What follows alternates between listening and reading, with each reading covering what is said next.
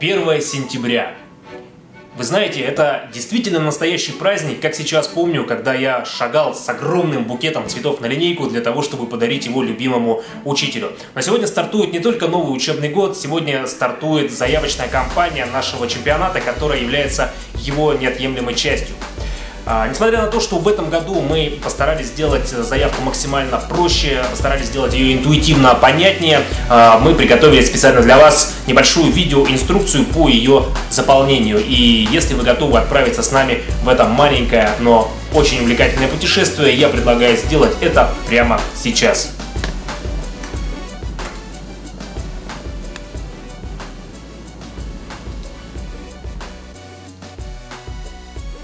Для того, чтобы подать заявку на участие в нашем чемпионате, вам нужно в главном меню нажать на кнопку, которая выделена красным цветом «Заявка», после чего перед вами откроется подробная, но при этом небольшая инструкция по ее заполнению. Я предлагаю вам очень внимательно ознакомиться с каждым а, пунктом. Особенно прошу обратить ваше внимание на те предложения, а, которые выделены жирным шрифтом. После того, как вы а, все прочитали, вы можете ее закрыть, нажав на крестик и перейти непосредственно к заполнению заявки. Если в процессе заполнения вам становится что-то непонятно, вы можете всегда открыть инструкцию, нажав вот на эту кнопочку. Как вы видите, инструкция вновь появляется перед глазами. Ну а прямо сейчас э, переходим непосредственно к заполнению. Итак, выбираем пол команды. Я выберу мужской, Далее, краткое название общеобразовательного учреждения. А, я учился в школе номер 127, поэтому я напишу именно ее. Номер 127. Великолепно. Далее, а, название школьного баскетбольного клуба. Если у вас уже есть школьный баскетбольный клуб а, с прошлого года, имеет название, вы вписываете его в эту строку. Если у вас нет школьного баскетбольного клуба, мы предлагаем вам придумать название, создать свой школьный баскетбольный клуб и также занести название в эту строку. Далее а, выбираем федеральный округ. Поскольку я нахожусь в городе Пермь, я выбираю Приволжский федеральный округ. Сразу же в строке регион у меня появляется выпадающий список, что очень удобно, в котором я могу выбрать область или край, где я нахожусь. Пермский край. Великолепно. Далее, муниципальный район. Поскольку я нахожусь в городе, а, школа номер 127 находится в Мотовилихинском районе, соответственно, я пишу Мотовилихинский район. Если э, ваше учебное заведение находится в области или в крае, соответственно, вы пишете э, название района, где находится ваше село, деревня, поселок городского типа и так далее. Следующая строка это населенный пункт. Для начала выбираем населенный пункт. У меня это город, как вы видите, список достаточно большой. Поэтому вопросов возникнуть не должно. А, и, соответственно, я пишу Пермь. Отлично. С этим справились, переходим к основному составу игроков. Как вы уже обратили внимание, а, нынче мы увеличили количество игроков до 16. И это не случайно, а, как прописано в регламенте, вы можете заявить количество игроков только один раз. Далее какие-то новые игроки э, в процессе чемпионата до заявляться не могут. Соответственно, мы предлагаем вам продумать все э, потенциальные замены с самого начала и внести их вот в этот список. Итак, ну, фамилия, имя, отчество, по-моему, здесь все достаточно понятно. Я напишу Петров Алексей Семенович. Далее появилась, появился новый столбец класс. Ну, здесь все просто, здесь вы можете просто выбрать. Я выберу восьмой. А, далее, дата рождения, здесь также все понятно. Формат не изменился. 1990, даже не так, 95, вот так. Отлично. Далее, серия, номер паспорта. А, обращаю ваше внимание, друзья, на то, что серия и номер паспорта не отображаются при просмотре заявок а, другими лицами. То есть они нужны только для нас, они хранятся в нашей базе и на сайте серия и номер паспорта не отображаются. Поэтому ничего не бойтесь, пишите смело. Я вот напишу, например, 0795 и далее 1, 2, 3, 4, 5, 6. Великолепно. То же самое мы проделываем адресом. Пусть это будет улица Старцева, допустим, дом 45, квартира 68. Великолепно. Рост. Ну, здесь тоже все просто. Я напишу 190. Даже в рифму сказал. Далее выбираем амплуа. Пусть будет центровой. Все, первое поле заполнено, с чем я вас и поздравляю. Таких полей минимум должно быть заполнено 8. Если количество игроков в заявке меньше 8, заявка не отправится.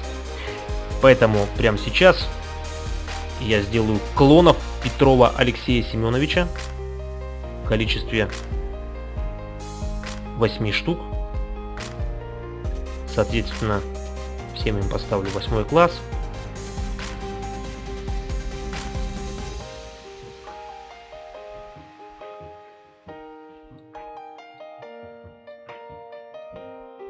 Великолепно. Дата рождения тоже пусть будет одна.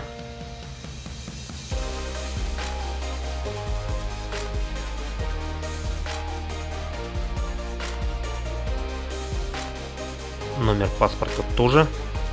Вот видите, а все говорим о том, что планирование людей невозможно. Видите, с какой легкостью это делаю я. Великолепно. Далее, домашний адрес.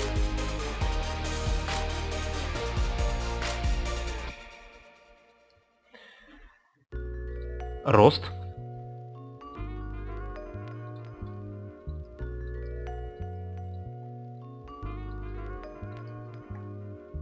Амплуа.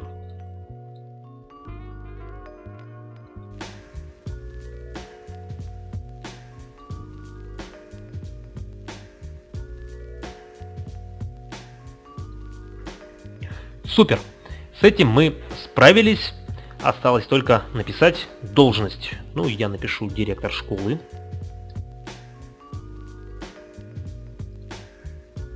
А также фамилию, имя, отчество. Пусть это будет Семенов Петр Алексеевич. Супер, друзья! Переходим к следующему блоку. Анкета сопровождающих лиц. Анкета сопровождающих лиц это достаточно небольшой, простенький блок, который мы очень быстро с вами заполним. Итак, фамилия, имя, отчество сопровождающего номер один. Иванов Михаил Аркадьевич. Педагогический стаж это также а, поле не обязательно для заполнения. Но я напишу 5 лет, например. Дата рождения. 12.06.73. Вот так, например, да? Серия номер паспорта.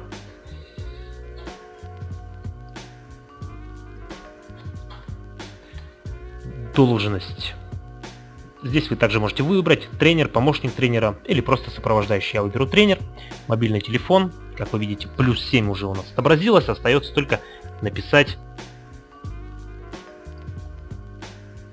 остальные цифры. Здорово. Адрес электронной почты. Друзья, вот я а, попрошу вас отнестись к заполнению этого поля именно у первого сопровождающего очень внимательно. Почему? Потому что заявка будет приходить в том числе и на этот адрес. Ну, я напишу свой.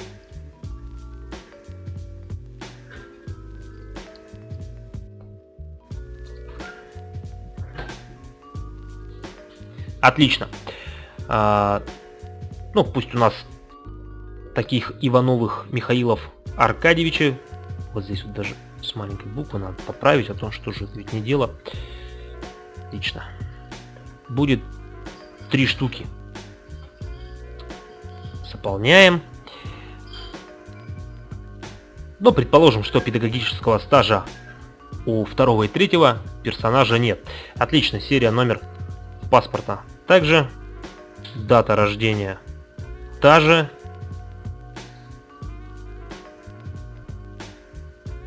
Пусть это будут просто сопровождающие, которые будут время от времени брать телефон,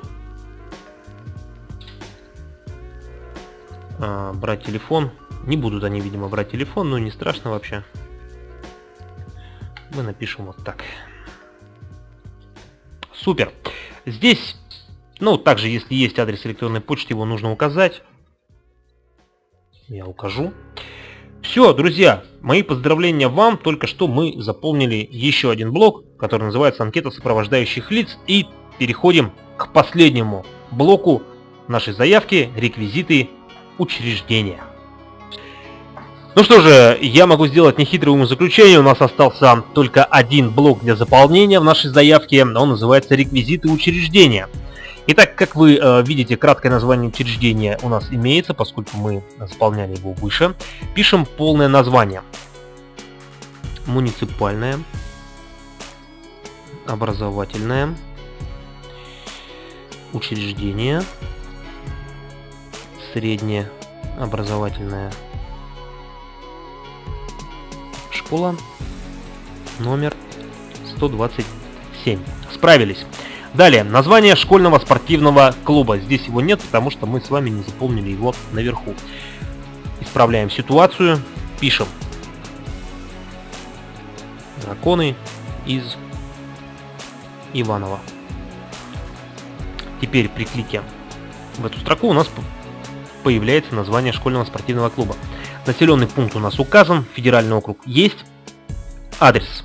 Я напишу улица Крупской, 38. Вы, соответственно, пишете тот адрес, где находится ваше учебное заведение. Далее, адрес электронной почты, то, тоже очень важное поле для заполнения, поскольку на этот адрес также придет бланк заявки, который вы отправите. Руководитель учреждения, ну пусть это будет директор школы, пишем по-английски. Директор школы. Отлично. Телефон. Плюс 7 также есть. Вводим код города. У нас в Перми это 342. Ну и далее непосредственно сам телефон. Факс. Ну, факс я сделаю тот же.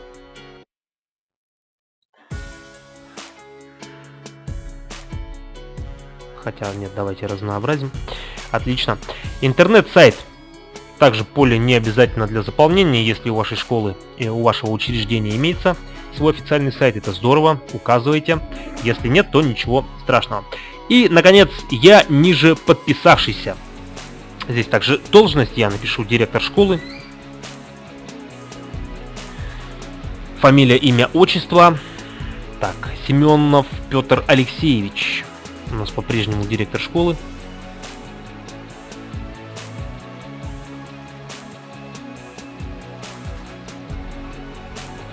Так, все лишнее уберем. Все, друзья.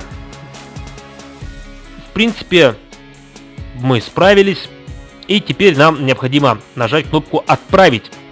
Если вы что-то забыли заполнить или сделали это неправильно, у вас обязательно всплывет а, красное окно а, именно там, где вы не заметили а, поле для заполнения или заполнили его неправильно. Итак, надеюсь, что я все заполнил правильно. Нажимаем кнопку «Отправить».